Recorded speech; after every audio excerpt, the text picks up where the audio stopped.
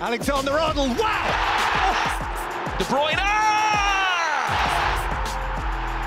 And it's that man again.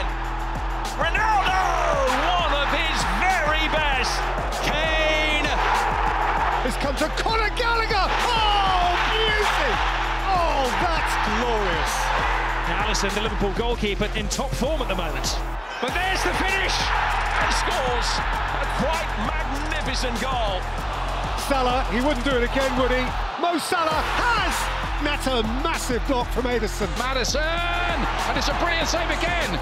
Full Sterling's way. Brilliant. It's a wonderful goal. It's tipped away.